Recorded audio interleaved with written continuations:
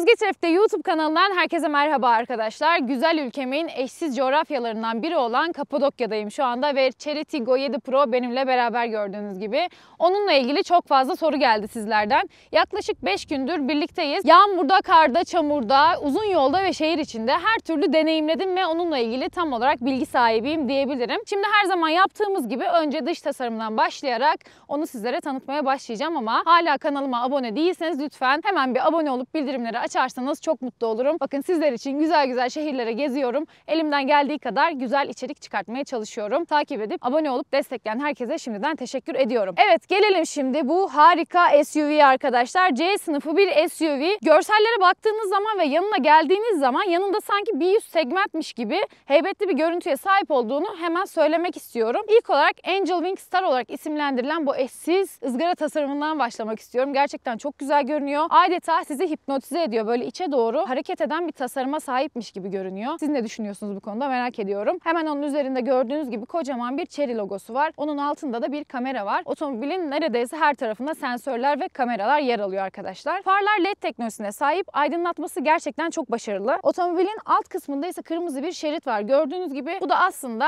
SUV'nin birazcık daha sportif bir havaya kavuşmasına destek sağlamış diyebilirim. Yine kaputun üzerinde çeşitli yerlerde çıkıntılara yer verilmiş. Bu da yine sportifliğe katkı sağlamış. Hemen isterseniz yan taraftan devam edelim. Yan tarafa geldiğimiz zaman ilk olarak şunu söylemek istiyorum. Dün Kapadokya'da çok güzel böyle her yer kardı. Bugün birazcık daha güneşli düne göre. O yüzden yerler erimiş gördüğünüz gibi. Ve neredeyse Kapadokya'da her yer çamur arkadaşlar. Bu yüzden lastiklerim kirli birazcık kusuruma bakmayın. Burada bizlere 18 inçlik jantlar karşılıyor arkadaşlar. Gayet otomobilin tarzıyla uyum sağladığını düşünüyorum. Hemen yan tasarımda şöyle bir göz gezdirdiğimiz zaman öncelikle bu otomobilin T1X platformunda olduğunu söylemek istiyorum. Bu da hem ön tarafta hem de aslında arka tarafta daha geniş bir yaşam alanı bizlere sunuyor. Bunu zaten test sürüşünde de anlatıyor olacağım. Aynalarımız elektrikli ve ısıtıcılı arkadaşlar. Üst taraftan devam edecek olursak otomobilin çift renk kombinasyonuna sahip olduğunu görüyorsunuz. Beyaz ve siyah kombinasyonuna sahip. Benim şu anda size tanıttığım SUV ise en dolu paket diyebilirim. Hemen üst tarafta gördüğünüz gibi tavan çıtalarına yer verilmiş. Gerçekten yine çok güzel duruyor. Camların altından yine bir krom detay var ve yine bu krom detay üst tarafta da var. C sütunda birleşmiyorlar. Bu tasarımı da yine çok beğendiğimi eklemek istiyorum. İsterseniz şimdi bir de arka tarafa bakalım. İlk dikkat çeken şey yekpare bir şekilde uzanan arka stop tasarımı. Yine gerçekten oldukça şık olduğunu söyleyebilirim. Hemen ortasında yine bir Chery logosu görüyorsunuz. Arka camımızda sileceklerimiz de mevcut arkadaşlar. Tigo 7 ibaresi burada yer alıyor. Altta da 290T ibaresi yer alıyor. Bu da aslında bizim otomobilimizin 1.6 benzinli turbo bir e, motor seçeneğinde olduğunu bizlere belirtiyor. Arka tasarımda en çok beğendiğim detay ise çift egzoz çıkışları olmuş arkadaşlar. Yine gördüğünüz gibi kameralara ve park sensörlerine yer verilmiş. Şimdi bagajımızı açacağız arkadaşlar. Bagajı isterseniz anahtardan isterseniz de benim gibi buradaki tuşa basarak elektrikli bir şekilde açabiliyorsunuz. Burada bizi 475 litrelik bir bagaj iç hacmi karşılıyor. İçerisinde sol tarafta bir adet 12 voltluk güç çıkışına yer verilmiş. Hemen sağda ve solda olmak üzere burada kancalarımız var. Yine sol tarafta bir aydınlatmaya yer verilmiş. Hemen bagaj perdemizi şu şekilde isterseniz kolay bir şekilde kapatıp yine açabiliyorsunuz. Bagaj alımızı kaldırdığımız zaman da burada yine bize geniş bir ekstra saklama alanı sunulmuş. Burayı da kaldırdığımız zaman en altta da stepnemiz bize yer verilmiş arkadaşlar. Hemen şuradaki tuşa basarak bagaj kapağımızı kapatalım. Bir de size bahsetmek istediğim bir detay daha var. Hemen otomobilin anahtarını öncelikle size bir göstermek istiyorum arkadaşlar. Şu şekilde bir tasarımı var. Şimdi otomobili bir kilitleyelim tekrar. Anahtarımızda yer alan kilit tuşuna yaklaşık 6 saniye boyunca basılı tuttuğumuz zaman otomobil kendini çalıştırıyor arkadaşlar ve içeride en son bıraktığınız ısıtma ya da soğutma ayarında tekrar kendini ısıtıyor ya da soğutuyor. Hep birlikte bir deneyelim.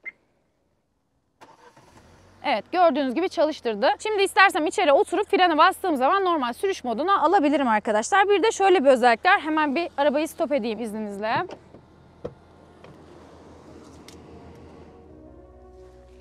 Yine anahtarla ilgili bir detay göstereceğim. Ben birazcık uzaklaşacağım şimdi. Otomatikman yine kendini kilitleyecek. Bakalım birlikte. Evet şimdi kendini kilitledi. Tekrar yaklaşıyorum. Bu şekilde de kilidi açıyor. Evet bu özelliği de gösterdiğime göre o zaman harika bir test sürüşüne hazırsanız başlıyoruz. Evet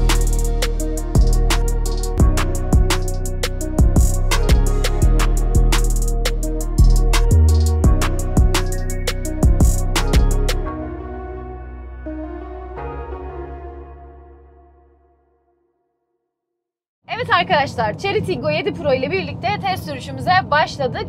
Teknik detaylara ve iç yaşam alanına gelmeden önce Mengerler Ankara Ümitköy'e çok teşekkür etmek istiyorum. Günlerdir dediğim gibi bu otomobil benimle birlikte. Aynı zamanda Çeri Türkiye'ye de teşekkürlerimi buradan iletmiş olayım.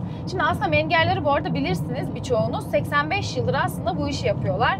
Gerçekten bu konuda çok deneyimliler diyebilirim. Markalarına artık Chery'yi de eklediler. Aynı zamanda bünyelerinde servis ve yedek parçayı da barındırıyorlar arkadaşlar. Siz bir Chery sahibi olduğunuz süre zarfı içerisinde mengerlerden kendi bünyelerinde servis ağı sunuyorlar. Aynı zamanda ekipleri gerçekten çok güzel. Hepsi birbirinden tatlı insanlar. Buradan hepsine selamlarımı iletiyorum. Eğer siz de bir Chery sahibi olmak istiyorsanız mutlaka Ümitköy lokasyonundaki mengerlere uğrayın. Orada bir test sürüşü gerçekleştirin ve siz de bu otomobili deneyimlemiş olun arkadaşlar. Eğer İstanbul'daysanız da Davutpaşa ve Etiler lokasyonlarına uğrayabilirsiniz. Gitmişken benden de selam söylemeyi lütfen unutmayın. Evet gelelim şimdi Chery Tiggo 7 Pro'nun iç yaşam alanına. Her zaman yaptığım gibi arka yaşam alanından bir başlamak istiyorum. Koltuklara bakacak olursak vegan deri burada kullanılmış. Ayrıca koltuk üzerindeki kırmızı ve gri dikiş izlerini de çok beğendiğimi ekleyebilirim. Arka yaşam alanında benim en çok beğendiğim nokta hemen kapı açma kolunun yanında bir tane böyle arkadaşlar uyarı lambası bulunuyor.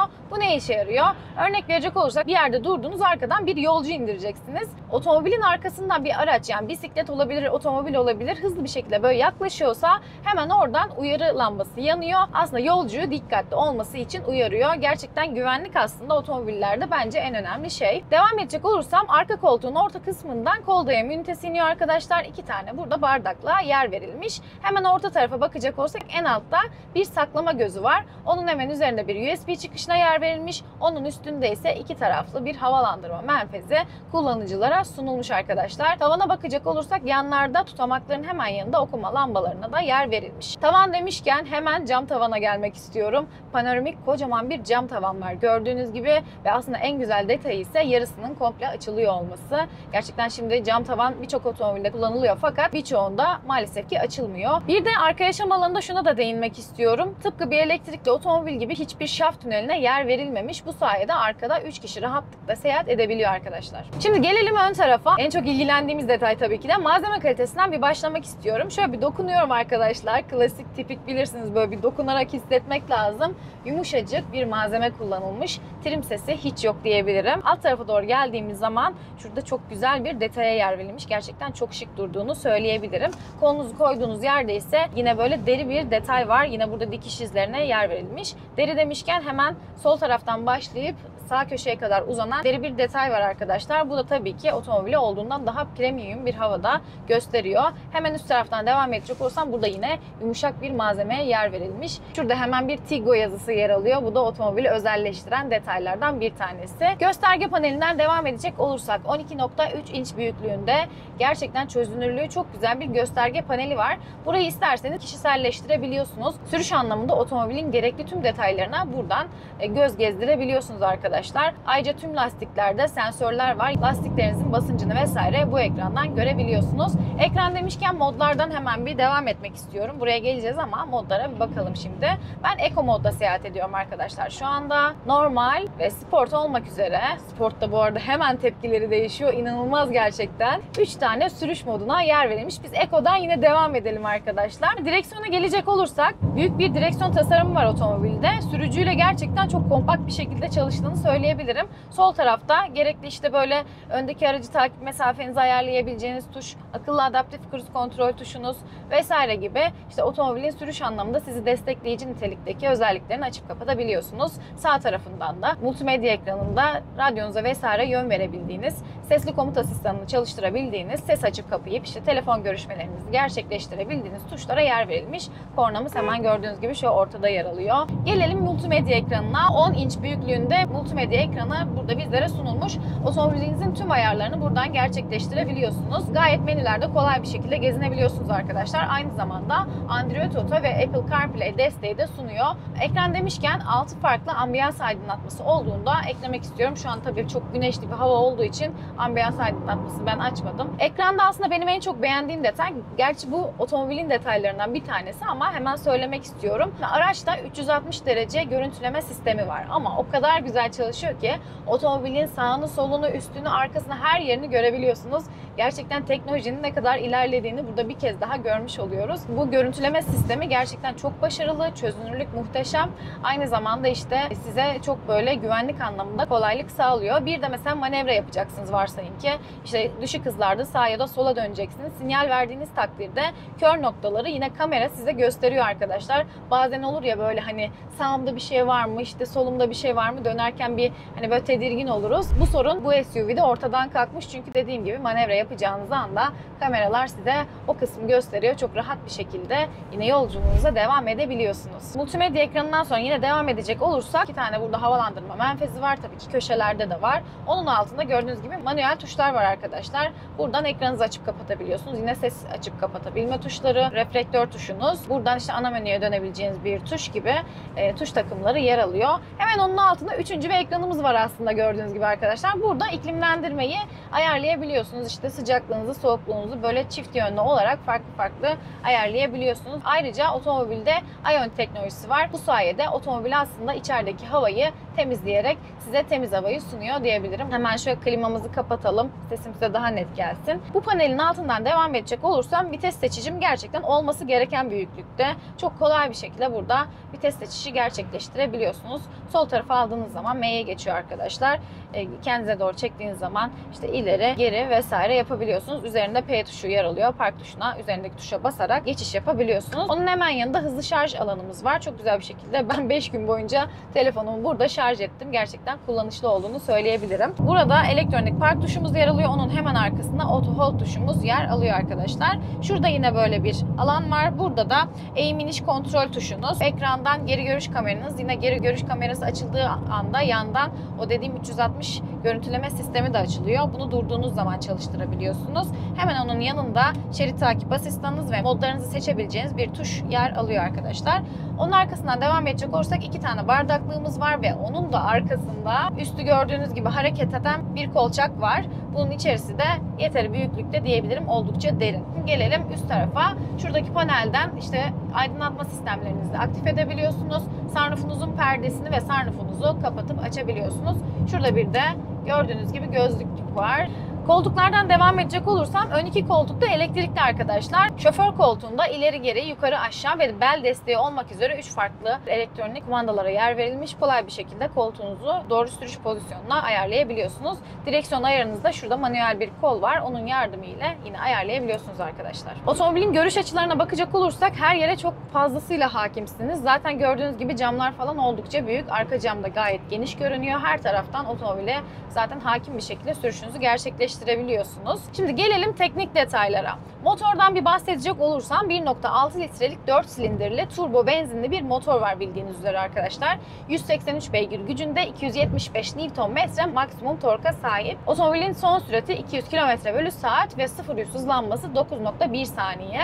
Özellikle ani hızlanmalarda ya da mesela otomobili ilk kez çalıştırıyorsunuz birden böyle sport modda özellikle gaza bastınız gidiyorsunuz inanılmaz derecede böyle e, sizi yapıştırıyor diyebilirim. Gerçekten hani çok güçlü bir otomobil olduğunu hemen söylemek istiyorum. Bir de burada şunu hatırlatacağım. Biliyorsunuz sevgili Doğan Kabak ile birlikte bir video içeriği gerçekleştirmiştik. Doğan Kabak YouTube kanalından izleyenler mutlaka olmuştu. Orada ben Chery Tiggo 7 Pro ile birlikte Doğan abi de farklı rakip bir marka ile birlikte güzel bir drag yarışı yapmıştık. Ve tüm yarışlarda ben Tiggo 7 Pro ile birlikte yarışı kazanmıştım. Aslında o günden sonra benim otomobile bakış açım değişti. Zaten o videodan sonra sizlerden de bu otomobille ilgili bana çok fazla soru geldi. Birazcık da bu yüzden çekiyorum bu videoyu arkadaşlar. Gerçekten benim için çok eğlenceli bir gündü. Şimdi şöyle söyleyeyim. Yakıt aslında en çok merak edilen konulardan bir tanesi bu otomobilde. Ben Kapadokya'ya gelmeden önce Ankara'da şehir içinde çok dikkatli bir şekilde kullandım. Yani hani olması gerektiği gibi fazla böyle hız yapmadan, çok fazla klimayı kullanmadan Eco modda e, seyahat ettiğim takdirde 7,5 litre kadar bir e, yakıt tüketimim oldu. Yakıt tüketimi çünkü çok böyle güçlü bir motor var. Acaba fazla mı diye düşünenler olacaktır. Eğer dikkatli bir şekilde olması gerektiği gibi kullanırsanız 8.6 litrelik ortalama fabrika verisini tutturabilirsiniz arkadaşlar. Ama tabii ki ben sürekli sport modda kullanıyorum, klimayı sürekli açıyorum, sürati seviyorum diyorsanız o zaman tabii ki yakıt tüketiminiz doğru orantılı bir şekilde artacaktır. Süspansiyon sistemine gelecek olursam Önlerde McPherson tipi, arkalarda çok noktadan bağlantılı bağımsız süspansiyon sistemi kullanılmış arkadaşlar. Şimdi bağımsız süspansiyon sistemi dediğiniz zaman benim gerçekten çok hoşuma gidiyor. Çünkü gerçekten yol tutuşu, viraj kabiliyeti vesaire doğru orantılı olarak değişiyor otomobilin. iyi anlamda söylüyorum bunu. Özellikle böyle viraj dönüşlerinde hızla vesaire yaptığınız zaman o süspansiyon sisteminin ne derece böyle size güven sağladığını çok net bir şekilde hissedebiliyorsunuz. Otomobilin frenlemesi de gayet iyi arkadaşlar. Frenlerde de önlerden hava soğutmalı diskler, arkalarda da normal diskler kullanılmış. Bu bilgiyi de sizle paylaşmış olayım. Şimdi birazcık da şanzımandan bahsetmek istiyorum. Çünkü drag yarışımızda da rakip markayı birazcık daha böyle tüm yarışlarda yenmesini sağlayan bence en önemli detay şanzımandı belki de. Bu otomobilde 7 ileri çift kavramalı DCT şanzıman var arkadaşlar. Gerçekten motor ile uyumunun çok iyi olduğunu söyleyebilirim. Özellikle sport modu aldığınız zaman vites geçişlerinizi vesaire hiç hissetmiyorsunuz. Tam böyle olması gerektiği zaman vites yükseltmeyi gerçekleştiriyor. Gördüğünüz gibi ekrandan da vitesin hangi seviyede olduğunu görebiliyorsunuz. Şu an tabii ki de biz 7. viteste seyahatimizi gerçekleştiriyoruz. Bu arada arkadaşlar otomobilde çok güzel böyle hem güvenlik hem de sürüşünüzü kolaylaştıracak detaylar var. Bunlardan bir tanesi örnek verecek olursak otomobilinizde yolculuğunuzu gerçekleştirirken mesela birden böyle arkadan otomobilin bir tanesi size çok hızlı bir şekilde yaklaşıyor. Burada otomobil hemen dörtlülerini yakıyor arkadaşlar ve arkadaki otomobilin birazcık daha böyle dikkat etmesini sağlıyor. Tabii ki sizi de orada uyarıyor. Hani arkadan çok hızlı bir şekilde otomobilin geldiğine yönelik. Bu yine sevdiğim detaylardan bir tanesi oldu. Öndeki aracı takip mesafesini de şuradaki direksiyonda yer alan tuştan ayarlayabiliyorsunuz. Şu an mesela en uzak modda. Bunu isterseniz en kısa mesafeyi ayarlayabiliyorsunuz. Şimdi bir de şerit takip asistanını aktif edelim buradan arkadaşlar. Bakalım siz de görmüş olun. Ben çok fazla kullandım. Bu arada virajda falan da böyle bu aktif bir şekilde çalışıyor. Mesela şimdi sağa doğru gidiyor. Gördüğünüz gibi kendini topladı. Öndeki arabayı gördü ve yine şeride sokmuş oldu bize. Uzun süre direksiyon tabii ki bırakırsanız uyarı veriyor. Oradan hem sesli olarak hem de yazılı olarak direksiyonu tutmanız hakkında size uyarıyor diyebiliriz arkadaşlar. Şimdi isterseniz otomobili şöyle sport moda bir alalım. Yolumuz müsaitken ve ara hızlanmasına bir bakalım arkadaşlar. Şu anda 140 km bölü saat burada hız sınırlandırması var. 140'a kadar bir çıkalım. Şu an 100'de başladık. Ve 140. Şöyle önüm boşken birazcık daha basabilirim diye düşünüyorum. İnanılmaz hızlanıyor. Gerçekten sport modda özellikle var ya otomobili tutamıyorsunuz arkadaşlar. Ya bıraksam gidiyor. Evet neyse şimdi hızımızı normale düşürelim. Normal bir şekilde yolculuğumuza devam edelim. E, kurallara uymak gerçekten çok önemli arkadaşlar. Böyle biz size tabii ki otomobili daha iyi tanıyabilin diye kısa kısa böyle hızlanmalar yapıyoruz ama normal hayatta tabii ki de bunu gerçekleştirmiyoruz. Bu otomobili genel olarak değerlendirmemi isterseniz fiyatını düşündüğünüz zaman şimdi rakip markaları işte bu otomobildeki bulunan özellikleri sunan diğer otomobilleri vesaire düşündüğünüz zaman gerçekten tam böyle bir fiyat performans aracı. Boş paketinde bile yani marka size çok güzel özellikler sunuyor. İstediğiniz her şey var. Otomobil çok geniş hem böyle aileler rahat bir şekilde kullanabilir. Hem isterseniz tek başınıza kullanabilirsiniz. Size her şeyi sunuyor açık söylemek gerekirse. Bu anlamda hani ben bu arada şunu da söylemek istiyorum. Biliyorsunuz Kapadokya'da hani ilk çekim yaptığımız zaman dediğim gibi çok karlı bir hava vardı. Ben bunu karda da test ettim arkadaşlar. Hani böyle çok ani bir şekilde manevra yaptım, baktım yani hani acaba otomobil böyle kendini savuracak mı? Bu arada üzerinde 4 mevsimlik bir lastik olmasına rağmen otomobille o ani manevralarımda bile hemen böyle kendini toparladı ve asla hani sizin hakimiyetinizden çıkmadı. Bundan sonra da zaten otomobile böyle hani daha fazla böyle bir ısınmaya başladım. Çünkü benim için her şeyden önemlisi yol tutuşu ve güvenlik. Ayrıca güvenlik demişken bu otomobil galvanizli çelikten üretiliyor arkadaşlar. Gerçekten çok sağlam bir çelik olduğunu söyleyebilirim bilmeyenler için. Ve T1X platformunda konumlandırılıyor. T1X sayesinde de hem önde hem de arkada daha böyle geniş bir yaşam alanı sizlere sunuyor. Şimdi otomobilin bazı özelliklerinden size bahsetmek istiyorum. Akıllı sesli komut asistanı, akıllı hız sabitleme sistemi, kör nokta uyarı sistemi, ön arka çarpışma sistemi, şerit konumlandırma, acil durum freni, araç yaya bisiklet tanıma ve trafikte sürüş asistanı sizin otomobilinizde yolculuk ederken işinizi kolaylaştıracak güzel özelliklerden bazıları. Şimdi arkadaşlar şurada müsait bir cep var. Buraya bir gireyim. Hep beraber bir de bu otomobilin sıfır üst hızlanmasını gerçekleştirebilelim.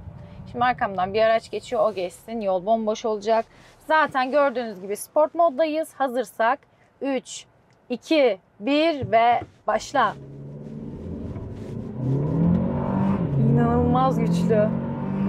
Ay. Ve 100 arkadaşlar.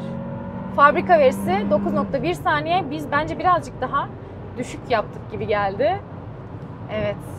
Gördüğünüz gibi otomobil hız istiyorsanız hız veriyor. Konfor istiyorsanız konfor veriyor. Özellik istiyorsanız özellik veriyor. Chery Tiggo 7 Pro bir haftadır benimle birlikte bana çok güzel yol arkadaşlığı yaptı. Umarım isteyen herkesle de yine yol arkadaşlığını devam ettirir. Yavaş yavaş artık videomun kapanışına doğru geliyorum. Videomu sonuna kadar izlediğiniz için hepinize çok teşekkür ederim. Bu arada kanalıma hala abone değilseniz abone olup bildirimleri açmayı lütfen unutmayın. Bir sonraki içeriklerimizde görüşmek üzere. Hoşçakalın.